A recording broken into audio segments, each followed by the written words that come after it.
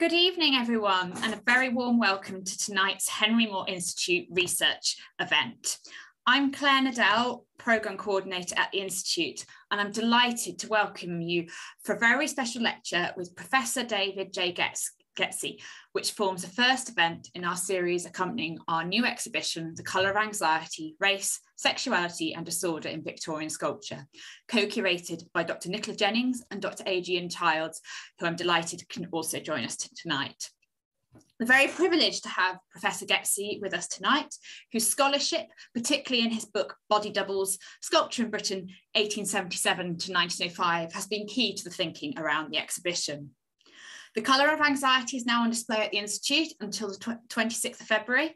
So if you've not had a chance to visit yet, then I do encourage you to do so. Um, the, ex the, exhibition includes a sculpture called Pandora by Han Harry Bates, which will be featured in David's talk tonight. Um, and now, without further ado, it's my great pleasure to introduce our co-curators, Dr. Nicola Jennings and Dr. Adrienne Childs. Dr. Nicola Jennings is, a, is Director of the Athena Art Foundation and a visiting lecturer at the Courtauld Institute of Art in London. Nicola's teaching, research and publications have focused on art in Spain in the 15th, 16th and early 17th centuries, with a special interest in polychrome sculpture in wood, stone and terracotta. Um, Dr. Adrienne Childs is an indep independent art historian and curator. Um, she is a adjunct curator at the Phillips Collection in Washington, D.C., and was the 2022 recipient of the Driskell Prize in African American Award, uh, African American Art, awarded by the High Museum in, in Atlanta, Georgia. Her scholarly interests focus on the relationship between race and representation in European and American fine art and the decorative arts. And The Colour of Anxiety is a real testimony to Adrienne and Nicola's combined areas of research and expertise. And so we're really pleased for them to be here tonight. Um, and now I'm very happy to um, hand over to them both who, and they will introduce tonight's speaker. Hello. Well, thank you very much to Claire and all the team at the Henry Moore Institute because they worked very, very hard to put the exhibition on. Um, and uh, Adrienne and I are delighted um, to, uh, you know, to, to have been working with them. Adrienne's also here tonight, Adrienne Childs, my co-curator. And um, we are delighted ourselves to welcome David Getsy, um, who's, as Claire said, is, is one of the foremost scholars in uh, this field, the field of late Victorian sculpture, and who's written about several of the pieces and the sculptors whose work is in the exhibition. David is also a curator and the Eleanor Shea Professor of Art History at the University of Virginia. He's published widely on American and European art from the 19th century to the present, and his current projects address queer methodologies, links between transgender studies and art history, and archive-based recoveries of suppressed or lost histories of queer and genderqueer performance. He's written many books and articles on sculpture, including, as Claire said, the wonderful Body Doubles, Sculpture in Britain, 1877 to 1905. And that's really about the ways in that the new sculpture, as it was called at this time, sought to bring representations and materiality together to energize and animate statuary as a surrogate living presence. I'm not going to say anything more. I know David's going to talk about one of the, the most extraordinary sculptures in the exhibition of Pandora. So I think, and Adrienne is going to um, start off the questions. So she, you'll be hearing from her after the talk. But let me hand over to David now. Well, thank you very much. Um, I'd like to thank the Henry Moore Foundation, the Henry Moore Institute, um, uh, Adrienne Childs, Nicola Jennings, Claire Nadal, and Kirsty Gregory for inviting me and all of the support along the way. Um, the, what I'm going to present today is um, one of uh, is an investigation into a, uh, the theory of sculpture, which is one of the things that I indeed I uh, learned through working on uh, the new sculpture at the end of the 19th century. Um, so let me share the screen. So the current exhibition on the cultural determinations of sculptural polychromy in 19th century Britain provides a new interpretation of the rapid transformations in figurative sculpture that occurred uh, at that time. And in particular, it was in the 1880s and 1890s, uh, which have long been understood as a time of stylistic heterogeneity within the figurative traditions of sculpture, as well as the formative years of modern sculpture in Britain. The exhibition organizers um, asked me to return to one of my analyses of this period, and this invitation has uh, prompted me to think about some of the theoretical implications of this transitional moment.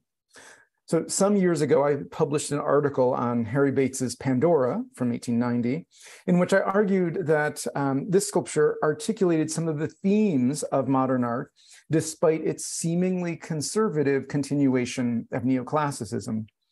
This article uh, will be included with the publication that's accompanying the exhibition, um, but I want to revisit that argument today in hopes that I might draw some further implications from it.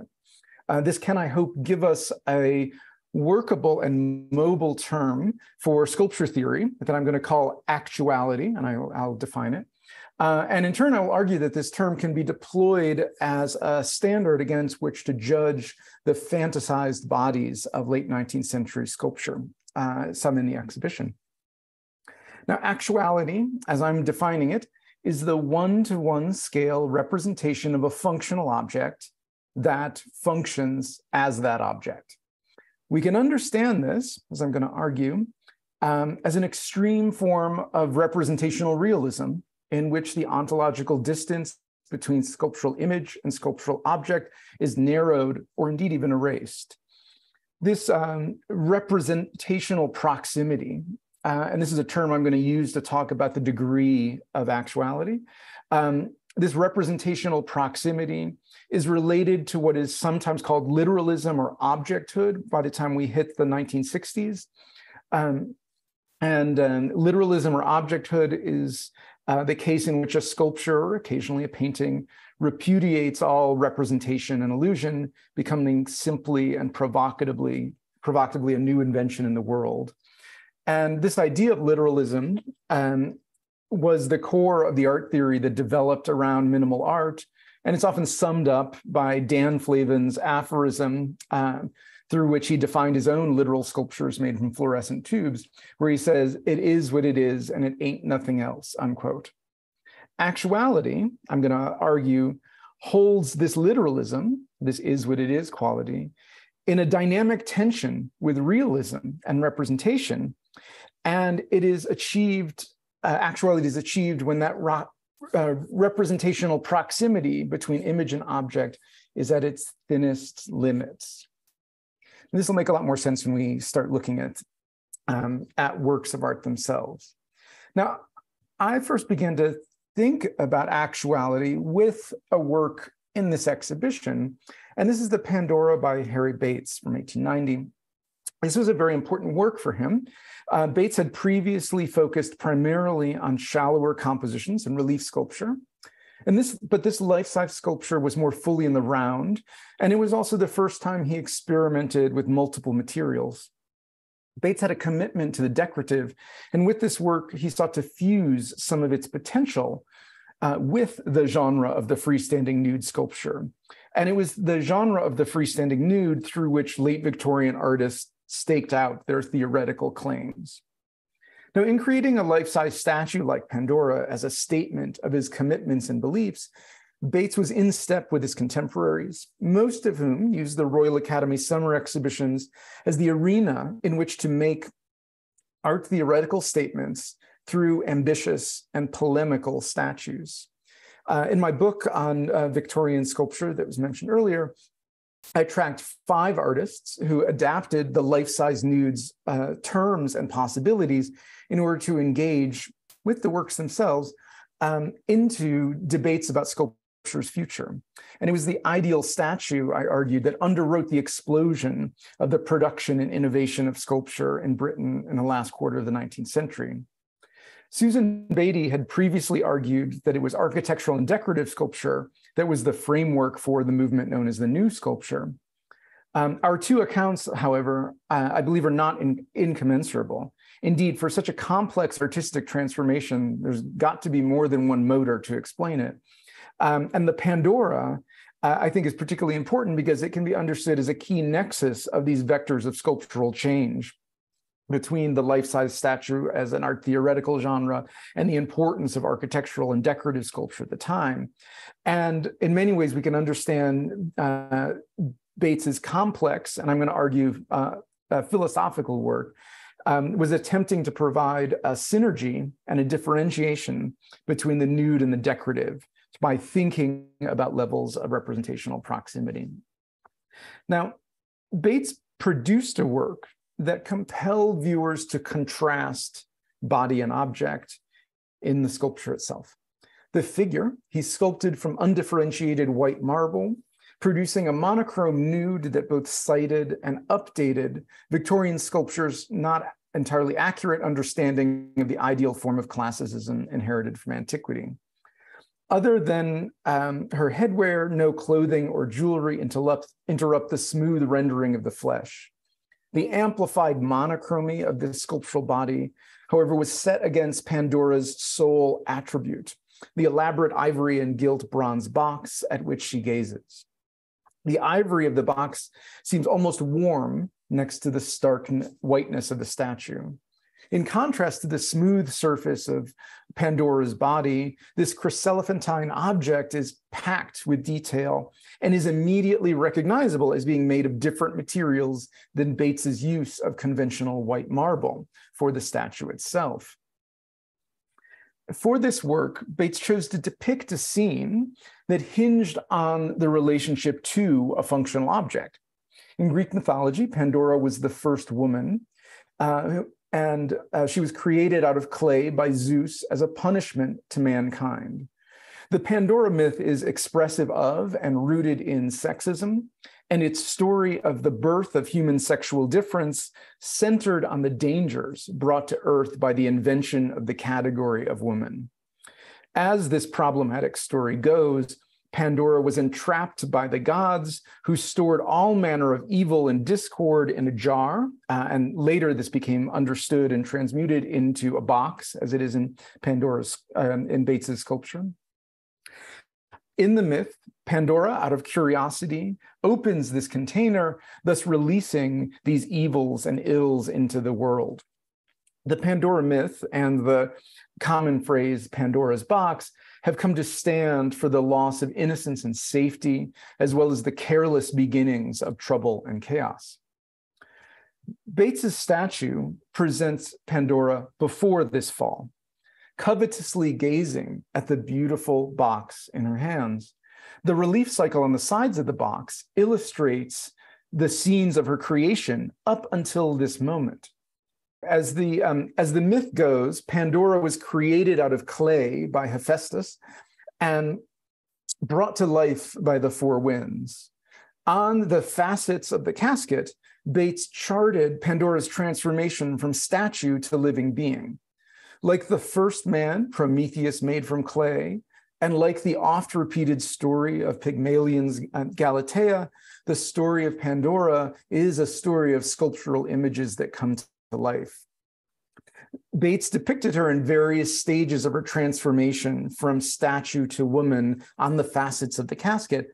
And here she is being adorned by the goddesses before being sent to tempt um, Epimetheus. Uh, here's another um, uh, work of the um, of the box outside of the statue. Uh, this is the same object; it was just removed for conservation purposes. Um, the lid um, of the box shows the last of these moments uh, presenting a sleeping Pandora being taken from Olympus by Hermes. And images of her escort anchor the four corners of the, the box in bronze and gilt. The box thus has a dual purpose. It both narrates Pandora's origins as a statue, and it also functions itself as the object of the ever present moment of temptation on which this story anchors. And we're going we are midway through the Pandora myth with Bates's statue. Now, the mythological character Pandora was not an uncommon subject for sculptures, but was rarely, but rarely was this story of her creation, as opposed to her fault, foregrounded so explicitly as it was by Bates in the casket. The long frontal side of the casket, again, depicts Pandora in her early stages as an, as an inert statue. And um, here, Pandora's hand covers an image of two additional goddesses that are on this facet, but the box is fully completed, as we saw. Now, this bas-relief image of Pandora as a sculpture is immediately recognizable as being uh, uh, heavily morphologically similar to Bates's life-size statue, um, with the composition being repeated in miniature on the ivory box. The small Pandora on the box is in the same crouching contrapposto as the life-size statue that holds the box. And the only major difference is that, um, is that the box is not in her hands in the bas relief. Upon recognizing this repeated image of the crouching Pandora on the casket, it's thus suggested to viewers that they are looking at a statue that lacks the divine breath that made the mythological Pandora flesh and blood. Through the parallel with the depicted creation myth on the casket, Bates equates the life-size statue with a mere marble representation of, the bo- of a body, that is, as a self-evident simulation.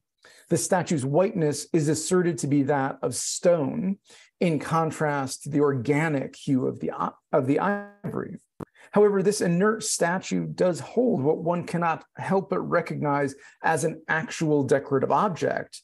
And we can think of this as, um, you know, in movies or a Photoshop trick, when there is a black and white photo and one element is put in color, it uh, is a way of emphasizing its reality. And there's a similar tactic and play with monochromy and polychromy that's happening as part of the internal dynamics of this work. Even though the box remains somewhat inaccessible due to its integration into the sculpture as a whole, nevertheless, it's clearly distinct from the figure of Pandora. The box is a box, and any viewer attentive enough to the details would be able to perceive that the lid was separate and thus able to be removed. This dynamic relationship between statue and object is what characterizes this sculpture.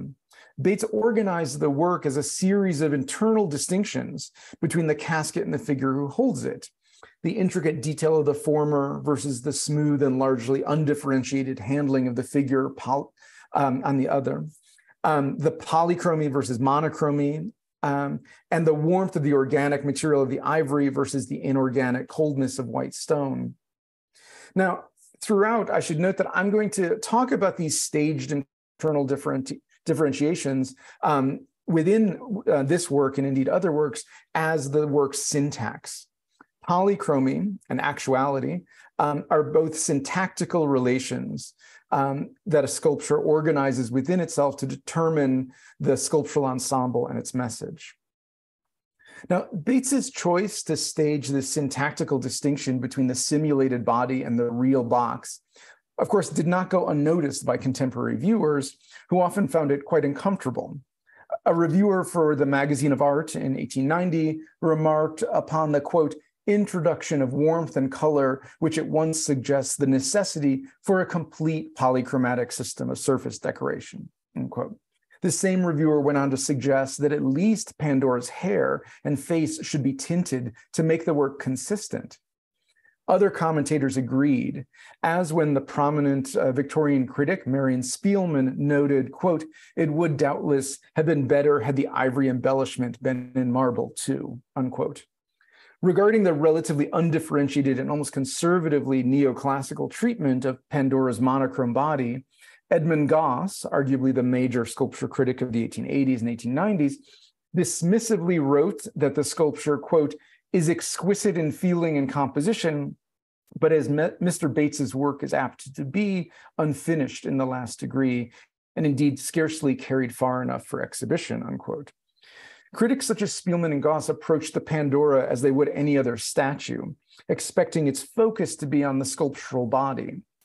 Um, and expecting the representational, the level of representational proximity, as I'm going to call it, to be consistent across the work of art.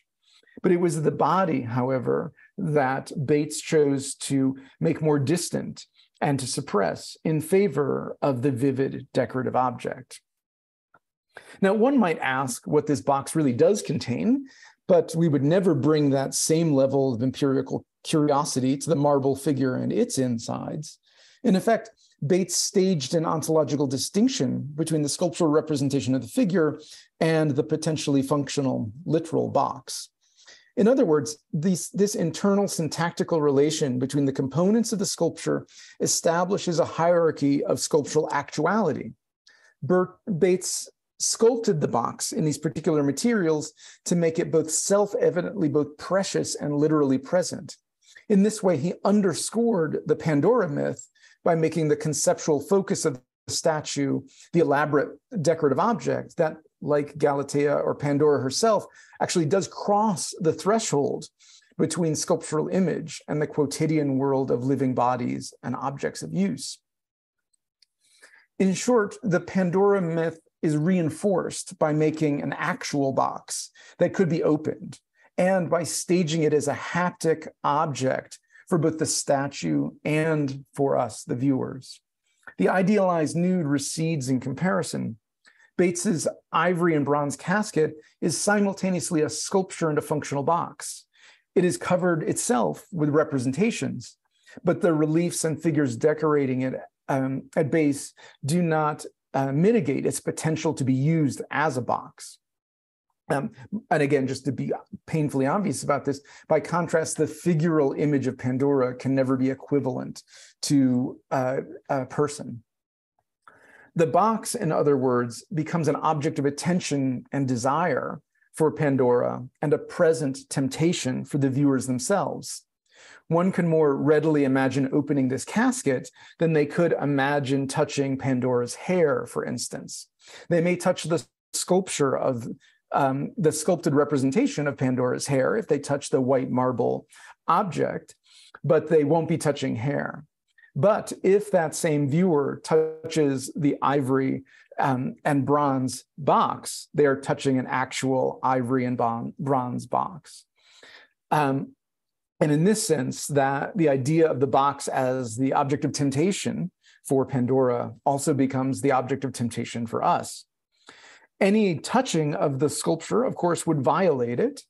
Um, and Bates uses that temptation as part of the reinforcement of the moralizing tale of Pandora's fall from innocence. Um, now, what I find so interesting and important about Bates's sculpture is the way that it stages this um, ontological distinction between sculptural representation as a depiction and sculptural representation as an equivalency. The box, that object to be coveted and dreaded in the Pandora myth, that box exhibits actuality through its particular syntax, the internal relationship of its parts and the levels of representational proximity to, to the actual and this makes it all the more real and one could say all the more threatening. Uh, the box, that is. Bates's sculpture emphasizes this high degree of uh, representational proximity in sculpting an actual box. And he set this in contrast to the monochrome whiteness of the statue with an extremely low degree of representational proximity. And again, think about touching Pandora's hair or headgear um, where we would only ever be touching a representation. Uh, we would never be touching the thing. But the box is both of those. With its self-reflective account of the terms of sculptural images, Bates's Pandora must be understood as a modern sculpture. And that is, it is one that tests the limits of medium as a means to prompt a reconsideration of the received understandings of how that medium has been used. And of course, I'm going to pause to acknowledge that this idea of medium and its specificity is but one of the many characterizations of modern art. But nevertheless, it is, despite its incompleteness and often uh, being over-argued, is nevertheless one of many useful ways to account for the for a robust tradition of self-reflection um, in modern art. Unquote. Uh, and um, modern art is often seen through stylistic categories uh, when we're talking about this, but Bates' Pandora reminds us that similar aims of self reflectivity can be established from within the styles that were then and now deemed as traditional or conservative. Um, and this is what I I think is um, fantastic about late Victorian sculpture is that it's it's a, it's actually highly theoretical in relationship to the idea of what sculptural representation is. And many of the artists were in a high degree of sort of competitive jockeying with each other to make statements about tradition and innovation through the objects themselves. Um, here, Bates both invoked the conservatism of the neoclassical nude, but he did so not as an unthinking retention of authority or style, but as an opportunity to comment on that tradition and its future, through the dynamic play with actuality in the form of the representation of the functional object that in turn has the capacity to function as that object. Well, I've been thinking about Bates's sculpture for a long time. And it was through thinking about it and its challenges to the figurative tradition that uh, allowed me to start asking about actuality and functionality in modern and modernist sculpture. And I began to see the question of representational proximity, of how close the image and the object come together, as a useful way to characterize some of the transformations uh, in 20th century art. In particular, um, thinking about Bates informed my investigation into the post minimalist sculptor Scott Burton, on whom I just uh, published a book uh, last month. Uh, working in New York in the 1970s and 80s, Burton was an art critic, performance artist, and sculptor who processed the lessons of mineral, uh, minimalism and literalism, but rejected as uh, what he saw as its cold universal, um, uh, universalism. Burton understood well the potential of literalism's it is what it is stance, but he sought to imbue that presence and literalism with a capacity for more direct bodily and personal um, contact and content. He did this through actuality, and his sculptural career focused on depictions of chairs and benches that functioned as chairs and benches. Now, in my new book, I chart how his works both depict and perform as chairs. And I show how this critical dissemblance and productive duplicity were developed out of Burton's exploration of the queer navigation of the power dynamics of public space, and in particular of the um, pleasures and dangers and theoretical uh, concerns that are associated with street cruising. Um, and the idea of communicating um, uh, under the unwitting eye of um, of the rules of normative space. Now, in short, Burton made works that could hide in plain sight and wait to be used. I'm not going to retrace the whole argument here, but I'm happy to um, talk about Scott Burton in the question and answer period. But um, instead, I'm going to provide a short discussion of another work, uh, another first major sculpture that, like Bates's Pandora, uses actuality as a means to comment on the potential of sculpture itself. Burton's bronze chair from 1975 comments on the figurative tradition through its use of bronze and introduces actuality into it. Um, in um, 1969, Burton moved into a tenement apartment in Little Italy in New York to find an abandoned chair in a derivative Queen Anne style. He lived with and thought about this chair for a few years, and in 1972, he decided he would make it a sculpture. At first, the destitute artist could only paint the work in bronze color, but in 1975, he received a grant to cast the work in metal, and he declared it his first sculpture. But choosing to cast this chair in the high art material of bronze, Burton aimed to elevate the disregarded object in its neglected style. He chose bronze for this reason to connect his sculpture to the traditions of figurative statuary and to the monument. In this regard, the bronze chair is like the Pandora. It, they both play with style and material in order to comment on and build upon the figurative tradition. But long outmoded in the 1960s and 70s in the wake of minimal and conceptual art, the material of bronze was a conventional material of sculptural representation and memorialization. Burton, however, capitalized on this these set of connotations and on casting's ability to capture verisimilitude in order to replicate this functional object in a one-to-one scale. And so this is a work that is clearly a bronze representational uh, work of art. It's with a it's a realist sculpture of a chair that in turn can be used as a chair. And we should remember that even though um, bronze chair does not depict a human form, it operates as a statue. It's a life size bronze with arms and legs and so on. This anthropomorphism allows bronze chair to evoke the human body without imaging it. Furthermore, it addressed viewers directly by offering them an empty seat, both as an actual physical incitement to sit and as an emotionally charged image of the absence of or anticipation of a sitter. this usable vacant chair lent itself, in other words, to viewers' bodily engagements and projections. In the context of Burton's post-minimalism, these effects of the bronze chair's fusion of sculptural image and functional object are best understood as properly theatrical. In Michael Fried's infamous attack on minimalism and theatricality, he had warned that is, quote, almost as though the work in question had been waiting for him, unquote. For the artists who Fried critiqued as literalist, this theatrical address was produced through the banishment of all representation and illusion. Burton's bronze chair produces that same theatricality, however, that is um, analogous to the literalist object, but importantly, it does through, so through its realism, through its high degree of one-to-one scale uh, verisimilar representation. That is, Burton's bronze chair achieves an amplified bodily relation in space with the viewer through its deadpan use of bronze casting to represent a chair at a one-to-one -one scale. And casting as a mode of sculptural representation and life-size reproduction is the key to the transformation of the original Queen Anne chair into a bronze sculpture that in turn performs as a chair. The literalism of bronze chair is in the sense performative. The sculptural image is, rather than merely depicts, a chair in its function no less than minimalism's gray polyhedrons, lines of bricks, fluorescent tubes, or stacks of aluminum and plexiglass, Burton's functional chair is what it is.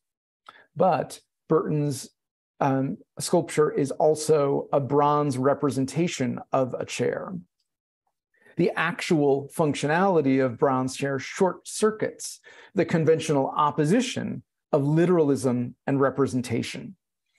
Um, and I think this is a really important, and uh, I hope you can see now that this these kind of questions of how um, representation and um, and actuality are operating in this dynamic tension in both the Bates and the Burton. Now, this collapse of the polarity of representation and literalism through the one-to-one -one mimesis of a functional object, that is actuality, is a philosophically rich question, and Burton cannily built upon it. He was not the only one concerned with the problem of the sculpture of a chair, however. A few years before this work, the French, uh, French philosopher Etienne Gilson had remarked that, quote, the statue of a marble chair is a marble chair, but the statue of a seated man is not a seated man, unquote. Um, such a statement responds to and registers an earlier discussion um, by Ernst Gombrich uh, who in the 1960 Art and Illusion laid out a dilemma. I'm actually going to, um, in the interest of time, I'm not going to um, go fully into this, but um, importantly, one of the things that Gombrich is interested in is thinking about when the actual object becomes a sign for the category of couch or chair. Um, and ultimately, um, Burton or Gombrich's concern is the inverse of Burton's, and he's asking how the couch becomes a sign. Um, for him, a cardboard image and an actual couch serve their purpose by signifying couchness, right? Um, um, but only one would function in the living room. Burton's work, however, is less concerned with how the actuality of a chair can become a sign uh, but rather it was with how the one-to-one scale representation of a functional object becomes equivalent to that object. Um, and, and, in this way, he sort of answers or responds to himself Gombrich's question. Uh, Burton would go on to make this the basis for his sculptural practice, in which functional objects um, are represented in sculptures that perform as those functional objects. And so there's always a, um, a uh, distinction in that Burton's works are always representational and literal. And um, if we were to really like spin out into many different forms of modernist art theory, you could think of this distinction between representation and functionality in Burton's works as an example of what Marcel Duchamp called the infrathin, one of many examples. Right? Um, but um, Burton's sculptural practice, I'm just going to show a few things here, um, trades on this idea of the representation that functions as the object. And he increasingly became ambitious in relationship to moving this into public spaces in which that functionality allowed his works to hide in plain sight as art and to solicit interactions. And here I'm just showing a few more. Um, if ever anyone goes to CAA in New York, uh, this is uh, right around the corner. So I encourage you to take a look. Um, and um, I'll come back to talk about this in a second, uh, this particular work other um, scholars have been concerned with this. This philosophical problem is central to the problem of sculpture and its differentiation between objects. For instance, in 1976, the year of the, um, the bronze chair, Rosalind Krauss would ask, quote, what would a sculpture look like if it were not illusionistic and thereby, and thereby did not propose a transcendence of reality? Well, it might look like a ready-made, that is an ordinary object like a hat rack or a chair, which was literally indistinguishable from the world of everyday use, unquote. Uh, here, Krauss acknowledged the same exception to the opposition of representation to literalism that Burton had also arrived at through his work, that the mimetic function, uh, the mimetic representation of a functional object effectively becomes that object. Burton's bronze, bronze chair plays up its status as just such a part of the world of everyday use, but simultaneously as apart from it through its high stakes um, use of bronze. However, Burton's other furniture sculptures do become, quote, literally indistinguishable from the world of everyday use in their camouflaging as mere furniture and their infiltration of public spaces. And I should say that even the bronze chair as a, as a bronze statue gets mistaken all the time for a piece of serviceable furniture and, and for the public. At the Art Institute of Chicago, where the bronze chair lives, museum guards have told me that it is a regular occurrence to see someone attempt to have a seat um, in the sculpture without knowing that it is also a sculpture. But it's important that, according to Burton um, and his attitude towards a dem- uh, democratic art, that these people who just sit in the chair are unselfconsciously are absolutely not wrong. As Burton intended, the bronze chair is something everyone can understand, and it waits for beholders to become sitters by putting themselves into its embrace. The bronze chair is manifold. It performs as a realist statue, a vernacular exemplar, a functional piece of furniture, a ready made, and a literalist thing with theatrical objecthood. Um, and in this, um, the, all of these manifold performances hinge on, like in, as in Bates's Pandora, the introduction of actuality. Now, I will just briefly show how Burton was really committed to this idea of the, um, the representation that becomes the thing. Um, when he first showed his, this work at Artist Space in 1975 in his first one-person exhibition, um, this work was displayed outside um, uh, across the street from Artist Space. Um, now, street signals, cruising, and dissemblance had been central themes of Burton's artistic practice in these years, and now he further declared the importance of the shared space of the street and of hiding in plain sight within it with this work. Because on the street, Burton's sculpture dissembled his chair. To many, this metal chair appeared at first as an abandoned piece of domestic furniture, hanging out on the street, waiting to be taken to somebody's home. Again, for Burton, this chair's performance drew on his long running line of investigation of street cruising and other tactics of survival and conviviality that made up queer experiences of the urban street. Burton was interested in the duplicity of appearing as normal, and he built on the easy familiarity and solicitations of this homey looking furniture piece. A lone Queen Anne chair on a sidewalk is not that remarkable in New York City, where trash is piled on the sidewalks because there's no alleys. And Burton staged this chair so it would act as an abandoned chair for the passerby, while also being a sculpture for those who took the time to look or who were already on the lookout for it. Now, this sculptural performance, um, you know, again, happened um, at uh, an exhibition, and Burton and his friends would set up um, chair watching parties where they kept an eye on the chair from the facing window to see what the interactions were. Um, this ultimately proved wise because um, Bronze Chair's street performance revealed a great deal to him. Most people did walk by it as if it was urban waste. Um, and um, the um, art critic and curator Edit deAk wrote that, quote, this work, uh, Bronze Chair, is design- designed to be indistinguishable from any chair left outside. Hence, it is both utilitarian and garbage, according to New York slum habits, unquote. Um, thanks to the effectiveness of the sculpture's urban camouflage, however, more than a few people were enticed to carry away this apparently abandoned treasure on those Saturday afternoons. The few passersby who did attempt to pick up a bronze chair were befuddled by its approximately 250 pounds of solid metal. Um, the duplicity of this chair became um, evident as soon as one attempted to move it. Um, this I'm thinking that this object was merely a piece of utilitarian garbage, and then realizing, perhaps to some embarrassment, that it was not a normal chair because of its material and weight, people on the street found themselves faced with a number of dilemmas. They were forced to reconsider their expectations of public space. They faced the frustration of their desire to possess this object again, a key theme. They were compelled to ask just what type of thing they had encountered on the sidewalk, and they likely resented being duped by it, but they also questioned what the function of this object might be. While Burton wanted the work to be used, he didn't want it to uh, disappear entirely. Um, and for some of these would be street scavengers, the obdurate resistance of the weighty chair became a challenge.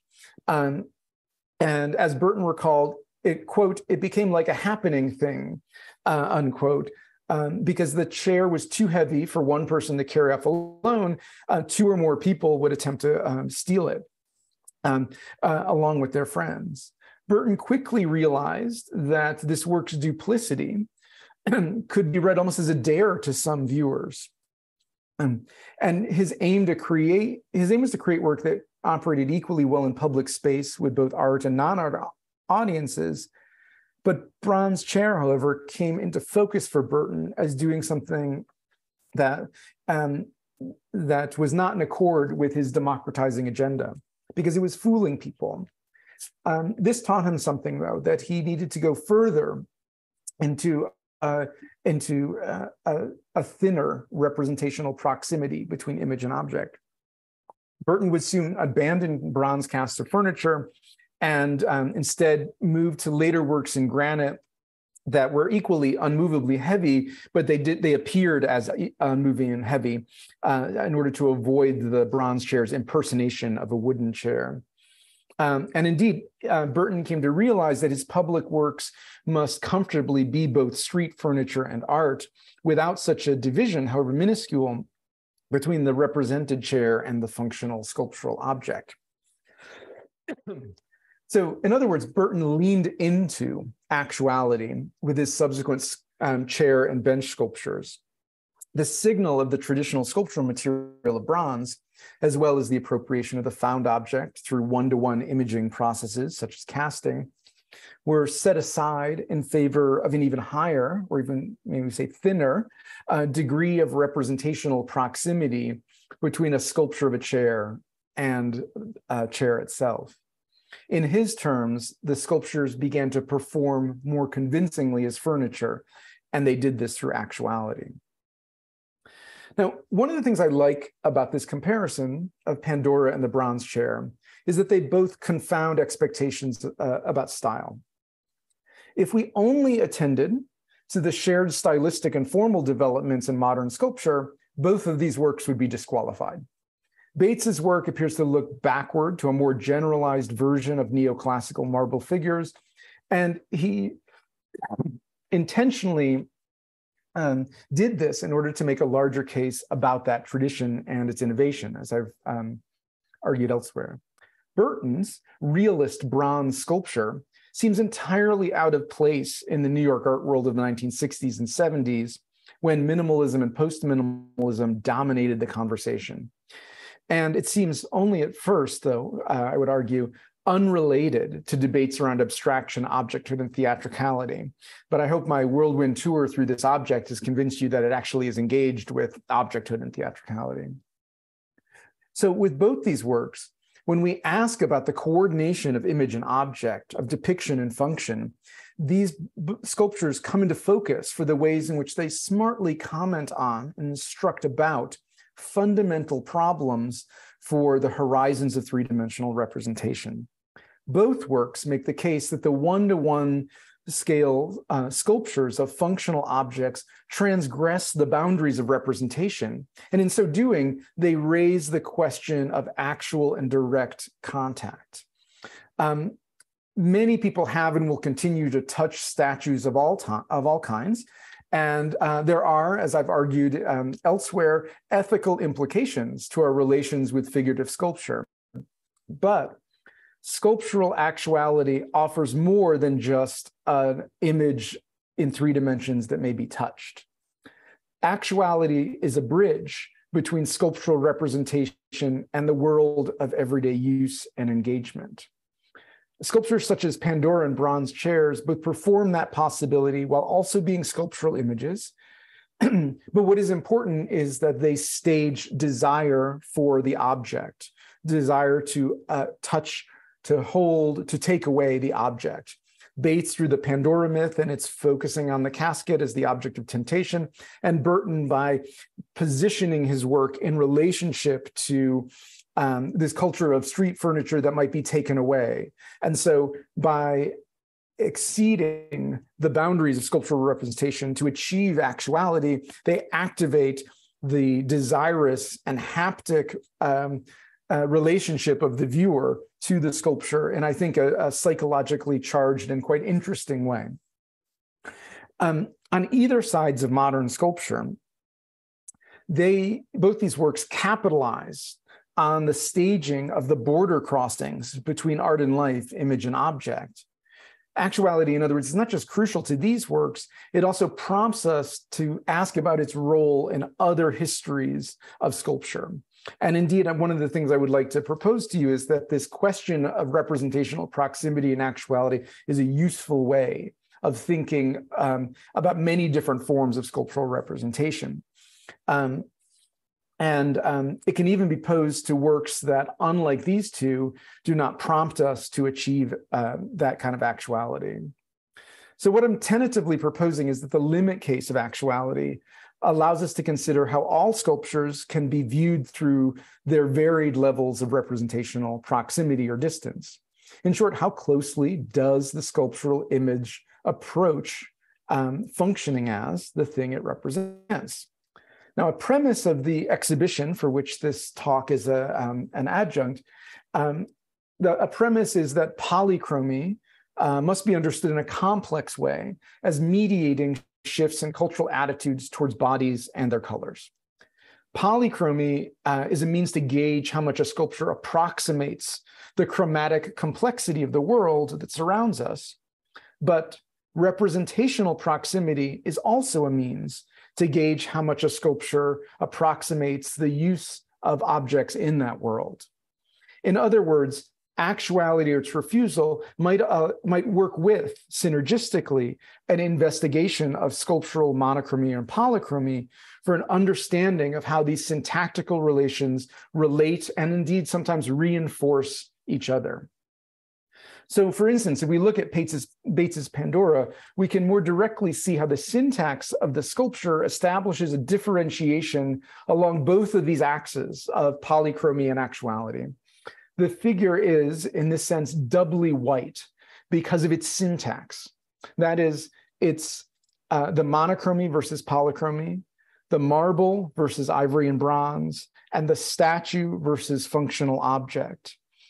In all of these ways, when we think about it as the appearance of, um, uh, of, its, uh, of its color and of the levels of representational proximity, one could argue that the morality tale that Bates tells through the chryselephantine object containing the loss of innocence is based not just on Pandora, um, the sculpture of Pandora being white, but by her pre fall state being categorically different than the world of everyday use and everyday things. In other words, the world that surrounds us.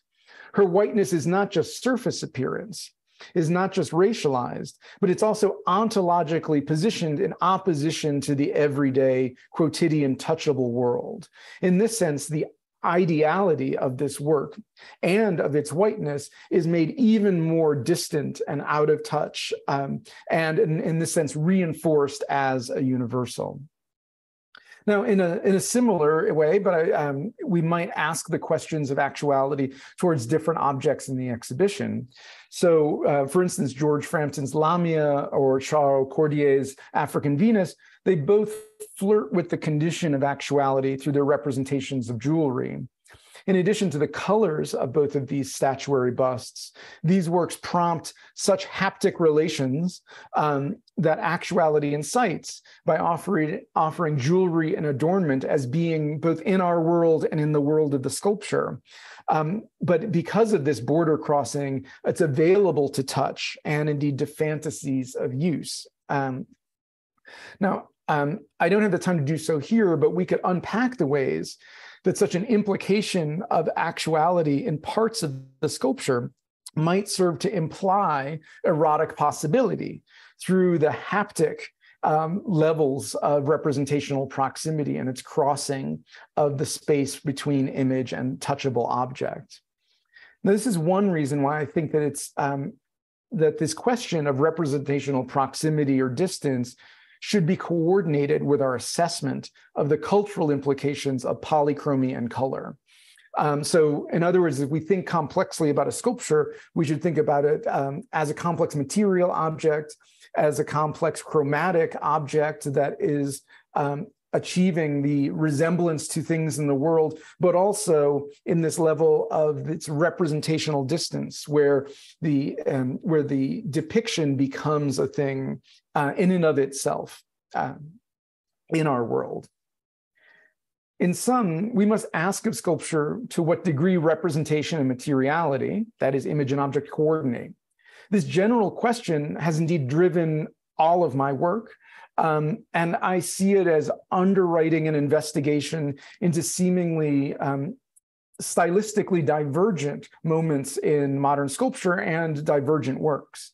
And so um, I have tracked some of these questions of materiality and representation, image and object, and their coordination from the corporeality aspired to by the British new sculptors to Auguste Rodin's development of modern sculpture through a stage agonism between image and object, um, through to 1960s abstraction and its pursuit of literalism in bodily terms, and then oh, and more recently to Scott Burton's democratic usable furniture created out of works that queerly dissemble and hide in plain sight. Asking such questions of sculpture disarranges the canonical and traditional stories of its evolution, and it allows for unlikely comparisons, like the one I offer between Bates and Burton today, and actuality as a limit case of sculpture's interplay of representation and materiality. I hope this, this comparison helps reinforce rides on the bodily solicitations of the functional object and its activation of a direct and haptic um, engagement. And sculptors such as Bates and Burton, in their very different ways, deployed actuality as an art theoretical limit in order to amplify sculpture's possibilities for engagement with and indeed implication of us as viewers in the in the shared space of sculptural representation and of sculptural objecthood. Well, thank you very much. I believe I uh, went over a little in time, but I'm sorry for that. But uh, I'm happy to take any questions you might have now. Uh, Thank you very much, David. Wow, what a wonderful um, presentation. Lots of food for thought. Um, should we, um, do you want to keep your PowerPoint up or do you want to just go to uh, I'm, we have faces? I am trying to get it back. I hid the meeting controls and I and I'm trying to like get them back. there okay. it is. Okay. Well, again, thank you so much. Mm-hmm. Um, I will start out quickly with a, a question, uh, totally self-serving, of course. Because um, I'm interested in decorative arts and I'm interested in the way you're talking about the functionality and, and sort of the, these interesting relationships between the functionality and the sculpturalness, uh, et cetera. But I work on objects like Pandora in ways that juxtapose the actual functional object and it's intended to be, right? Like a mm-hmm. candelabra or a chandelier or a bowl that is also um, juxtaposed with a sculptural body, like a blackamoor, a black figure holding a candelabra, holding a bowl. But the uh, at the outset, the intent is for the object to be functional, mm-hmm. right? Um, and they uh, they're often uh, in, depicted in the act of actually serving, so it's enhancing or being um, you know, and what it's it's serving the, whatever function it is supposed to do, like holding the mm-hmm. candelabra. It, it can even be a bronze, right, made out of this kind of venerable material. But what? How do these ideas um, work it, when you're talking about an object like that that is not intended to be high art? And, and we don't just you know as and it's intended to be decorative and we we almost never give those objects the same kind of you know critical attention mm-hmm. that we do to sculpture. Um, and particularly when it's overlaid with this I- issue of slavery and how it represents, you know, the slave body in many ways in the functioning as a servant in servitude but those things often get lost but so mm-hmm. does does this work that you're doing work in that direction yeah, I mean, I think for, first of all, the the differenti- differentiation and division between the so-called decorative arts um, and sculpture is, um, you know, contextual, but also arbitrary and somewhat artificial. And I think um, these same concepts about whether an object um, is uh, does an object purport to be a depiction of any kind? Is it an image? That automatically introduces a range of questions and philosophical questions about um, image versus object. And so this, this same set of questions would hold true for, um, uh, for a so-called decorative object, a relief sculpture, um, or a statue here. One of the things we ask, as you just noted, we ask different questions, however, based on the context into which these objects are placed. So if we see one, um, you know, in um, in the context of an art gallery or the Royal Academy summer exhibitions, this prompts us to be thinking more on the realm of the uh, representational side of these things. And if we see the um, that same object in a, a, trade fair, we might think more about the functional side of it. But again, these are um, different uh, weightings of the same set of questions. Mm-hmm. Um, so I do think that, that these are app- these are applicable. This is why it, it's a it's a kind of philosophical question about three dimensional representation, um, but and it's one that those who make sculptural depictions um, and position them in relationship to things like art exhibitions and galleries and museums um, tend to distill some of those questions in a different way. And I think that's what both Bates and Burton do and why they make good didactic objects for this general question that we could pursue broadly. Mm-hmm. More interesting as an answer to your question, however, is that um, you said yourself that some of these um, these moments of the overlap or the coordination between an image and the and the object of use are about serving um, and and so they produce both um, power dynamics between the user and the object and the depiction that's holding that object. Um, and as I would argue, you know, Bates and Burton make clear that questions of desire are also wrapped up in those questions of the of the hierarchies of power.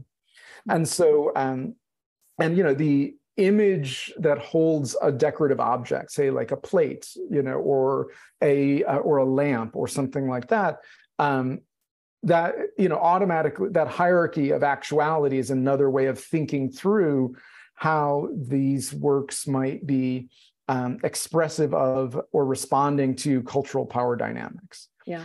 Um, I don't think one of the things I want to emphasize, like I, I chose two works that kind of give us the same answer, but I think this question of representational um, proximity and its syntax will produce different answers um, depending on the content of the work and its exhibition and other things. And so, um, so I do think there's a it's a useful way of thinking through a lot of different things when we really understand the implications of what uh, of what three dimensional representation, um, or, or thinking of that levels of three dimensional representation as part of a way in which a sculpture or an or a sculptor or a decorative um, artist produces a set of possibilities for meaning out of the work. Mm-hmm. Um, and again, you know, syntaxes are all based in unevenness and differentiation and power, and so that um, they are deployed in relationship to other elements to make a case. Mm-hmm. Thank you, um, Nicola. Do we have some questions? Uh, I can't see any more questions just yet, but um, I would love to, well, first of all, thank David for what that extraordinary talk. I'm going to have to listen to it again on the recording a few times, I think, to absorb everything that you're saying, because um, it was it was really, really, um, really rich. Um, and I loved, first of all, I loved the way that you um, showed us the sort of the modernity of Bates's conception and how you can look at a sculpture which is apparently quite um, retrospective looking or very traditional looking in its um, in its form, and actually use it to or, or, or find that it, it sparks a whole series of ontological questions about the nature of sculpture, which is which are actually incredibly modern. Um, if one thinks about that. I mean, I think sculptors have probably been doing that for a very long time. So one could think that some Renaissance sculptors were quite modern, or even medieval sculptors were quite modern, because um, they were probably doing that too but um, but I but I think I, I, love the way that you that you highlighted that um, that that that contrast between his outward appearance and actually what it, it could lead you to think about. Um, but the, the thing that, that occurred to me, which is maybe a different way of thinking about what you're what, what you've been speaking about, is that in some ways, to me, it's a bit like Pandora. By making Pandora the, the, the, the figure of Pandora white and remote and very much a, um, a sculpture, whereas the box is, is organic, is almost living, is colored, is almost like the, um, the, the Galatea that comes to life. I'm, it, almost felt to me like it made me think that maybe what, what Bates was trying to do was to tell us that um, to, to bring to activate this this ancient myth of Pandora in a way to, to, to bring this, this box of evil into our contemporary space. She is a myth. And this, by, by means of this box, we understand that evil is still alive in our world, that it's still that it's still about to, you know, the box is about to be opened, it's about to explode into our world. So he sort of activates that whole myth in a way that's um, that I think is really interesting. And and it makes me relate it to his other sculpture that's in the exhibition, the Mors Janua Vitae, where he's clearly very concerned about issues. You know, he's eh, Mors Janua, he he he produces as he's dying, I think, or he he think he knows he's about to die quite soon. And so it's a sort of valedictory piece, and that the iconography of it is very much thinking about life and death and what happens afterwards. So he's he's clearly a real he's a he's a great thinker um, Bates. And I, I, think we, we don't know very much about him, but we can infer all these things from the kind of work that you've been doing, thinking about what his sculpture tells us. So, sorry, that's a bit of a rambling reflection, but mm-hmm. just wanted to make that point. Yeah, well, um, thank you. I will say that, so uh, this is, of course, based on this article I wrote um, now some um, 20 years ago. But in that article, it's I focus these questions on the relationship of the decorative to the figurative tradition. Um, and what I've done today is sort of tried to think, uh, you know, with these 20 years of reflection and thinking about it, um, the this syntactical relation between actual object um, and image as being a dynamic of desire. And I think you're right that in this way, um, we can see that um, this work as aligning itself with this kind of uh, fascination with the femme fatale, with loss of innocence, with the dangers um, of um, uh, of the sexual revolution and everything that, that are happening in the 1890s um, that uh, are registered by artists who are trying to focus on the body as an ideal sign for a binary gender. And um, I mean, so this kind of theme of both the loss of innocence and the femme fatale run through the new sculpture. I mean, Alfred Gilbert is uh, in the 1880s is doing this, and um, uh, Bertram Mackennal, the Australian sculptor, and others. Um, there's a lot of examples, um, but I think by understanding that presentation of the danger, the loss of innocence, and the temptation of the actual object, this is a way that we can more closely see this not just as a generic relationship to the the femme fatale um, moment or this anxiety about uh, gender, but actually as a really sustained um, way in which thinking about how desire is operating in relationship to the um, the sculptural body. I mean, mm. one of the things that I've been very interested in at this moment is the ways in which the problem of the nude as um, especially as a life-size statue incites questions of desire both to touch to uh, to covet and so on and that um, this was the fine line where sculptors had to be thinking about the um, their desire to um, be modern and embrace a higher degree of uh, representational fidelity and verisimilitude, and the ways in which that would incite moralizing panics. And I think that's one way to characterize all of this. Bates is really interesting as someone. This is his first life-size sculpture, uh, his first figure in the round, really. Um, that um, he's navigating what is one of the key um, um, aesthetic uh, and cultural debates of the day is that uh, is this question of uh, desire. So, yeah, there is a question uh, from the audience from Fiona Darling, and I can't uh, read your last name on my screen, unfortunately, Fiona. Uh, but her question is Do you know of sculptures which have been created twice in two different materials with the intention of changing the meaning of it? I'm thinking of statuettes that have been created in bronze and then the sculptor produces the same in silver. Does the use of material affect the reading? And if so, do you have evidence of this being done deliberately? Um, well, first of all, I mean, any, if you've ever talked to a sculptor, their choice of materials is deeply important. And so, and all metals, you know, have, you know, that are used in casting have different viscosities, different relationships to the mold. So there is no possibility for um, the shift in um, a material not to be a considered decision by an artist, right? And it also involves the approximations of um, what works in one material to another. So there'll always be differences as well. So I, I think that's a very pragmatic answer to the question. But I think it's important because it is it, it, sort of lays the foundation for understanding that a shift in um, in materials is necessarily a shift in meaning. Um, the degree to which that shift um, is um, uh, is hoped for may vary. The the works that are sort of popping to my mind as a, as examples of this actually are a little bit later. You could think of Brancusi's many different versions of the same works that are carved in one material and cast in another. And um, these actually, you know, he'll have the opaque material of a cast plaster um, or, or wood, but the highly shine, uh, the highly reflective material of polished brass. Um, and it's the exact same form. And so that's a good example of how this move between different materials changes things.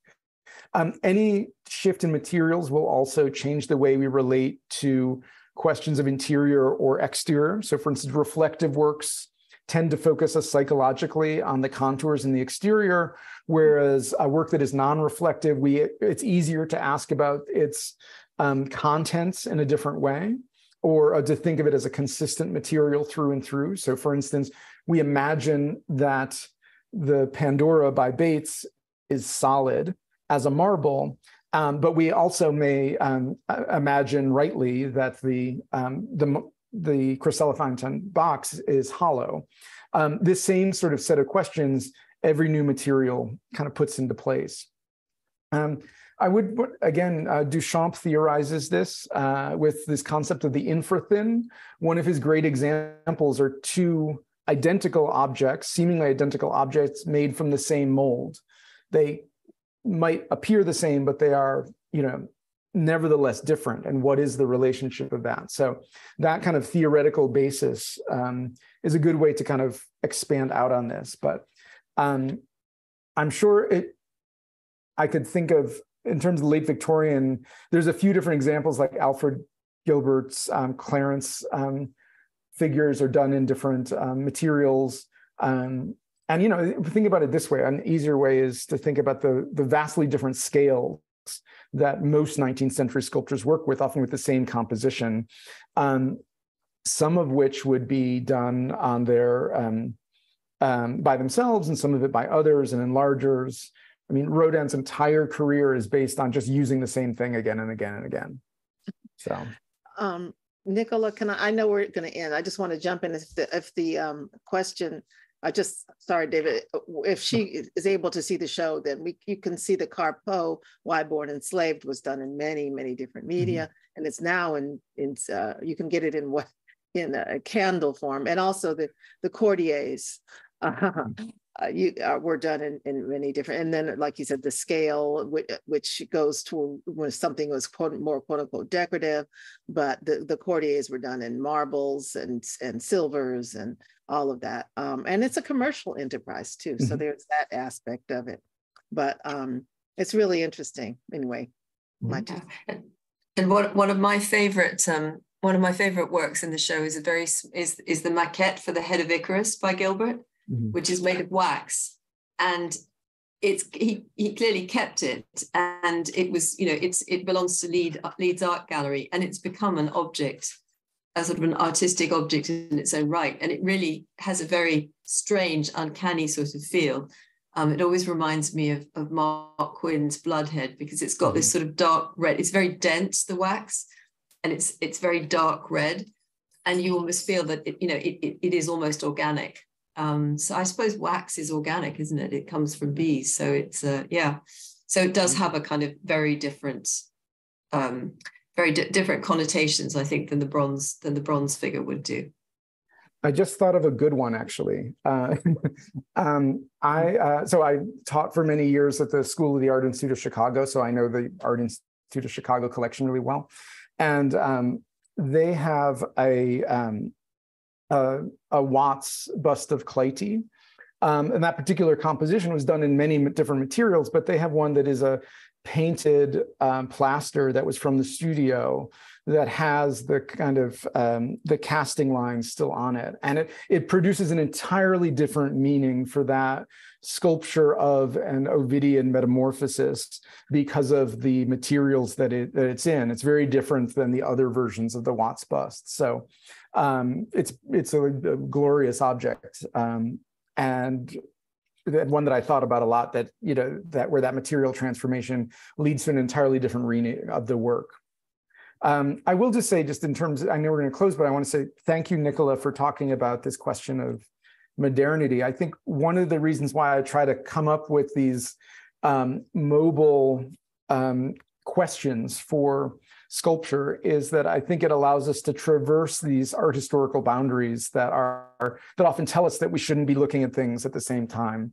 And I think one of the things I've been interested in is um, uh, upholding disregarded objects and narratives uh, in my work, and that's um, one of the reasons why the you know the modernity of late Victorian sculpture is you know, is, is, kind of like a perverse thing to do, as to investigate. But I do think it um, it actually produces some very interesting challenges to the assumptions that underwrite those canonical and mainstream um, received narratives that we have when we start to think about these. Um, uh, these ways that we can put new combinations together and see different things because of it. And so, and uh, from I haven't seen the show because I'm um, in uh, North America, but from the sounds of it, that's exactly what the exhibition is doing. So I would encourage everyone to go see it. that that was very much Adrienne and my starting point was looking at these objects and think actually, you know, we haven't thought about these objects for a while, and they might have something very interesting to tell us about, you know, who we are today and looking at, you know, the history of art and um, and it, and they did. I think we we did find that there is there is one more question um, if if we if you can bear it, David. Uh, what oh, is your yeah. view? what is your view on using 3D digital printing technology to create modern forms of sculpture and statues post lockdown? Mm-hmm. It's a great question because we here we have a you know a kind of um, so the digital versus the analog is really interesting. The idea that uh, information and materials can be broken down to core components and recombined in this kind of atomistic way, and that means that things like 3D printing technology is a um, can achieve this kind of actuality um, when you're printing out a functional object. And so, um, but at the same time, it can be used to make a little statue or something like that.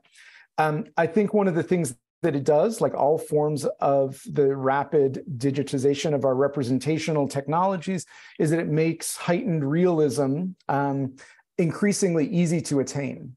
And so perhaps that might be the way to think about it is that um, previously, such forms of hyperrealism in sculpture were really only attained through processes of casting, which is a really interesting form of analogic representation at a one-to-one scale that maintains this. And now the, the digital means that we don't need to have that indexical relationship with the actual object, but we have something more like a kind of platonic form that can then be printed out. Um, and so, um, but I do think, again, the questions don't necessarily produce the answers. So you can ask, how does that relate to these materials? And you can, um, and it may be an interesting or maybe a boring comparison to come to compare the the fruit bowl that you print out to the Pandora's box and the Bates sculpture. But the, the idea of representational proximity allows you to put those two things into relation.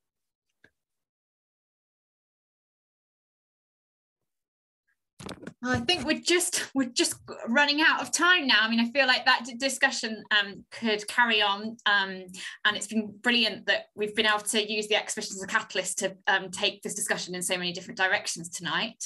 Um, but I just want to say a huge thank you, first of all, to David for this fantastic lecture, and for Adrienne and Nicola for so expertly um, co-chairing the discussion afterwards and bringing this really um, uh, thoughtful and wide-ranging discussion.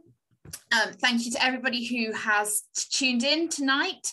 Um, and if you've not had a chance to visit the exhibition, please do um, do come to the Institute. Um, the exhibition is on until the 26th of February. Um, and as already mentioned, um, uh, David's 2004 article privileging the object of sculpture, actuality, and Harry Bates' Pandora of 1890 will, is also get, due to be republished shortly, alongside a number of newly commissioned essays in a special issue of Institute's Essays on Sculpture um, to accompany the exhibition. That's forthcoming in January 2023. Um, Tonight's our last research event before the Christmas break. Um, in January, we're going to continue our series of events around the colour of anxiety with an in conversation between Professor Jennifer DeVere Brody and Adrienne Childs, looking at race in Victorian art and literature and the figure of Octoroon. That's on Wednesday, the 25th of January. And that will be followed by a lecture by Professor Roger Luckhurst on women's spiritualism and art in the late 19th century on Wednesday, the 15th of February. Further date, details about these events and booking information can be found on our website. Um, but for now, thank you again to our fantastic speakers and um, co-chairs, and thank you for all our audience for joining us tonight and for your questions. Um, I hope everyone has a lovely Christmas break, and we look forward to seeing you in the new year. Good night. Thank you.